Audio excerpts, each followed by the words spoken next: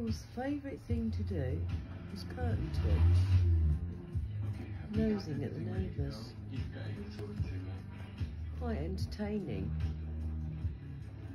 Go through, guys. One sec, Holly.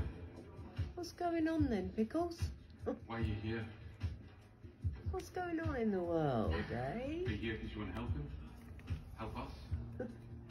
Because if it's not that, then I think it's probably best did you become his minder? Since he asked for my help.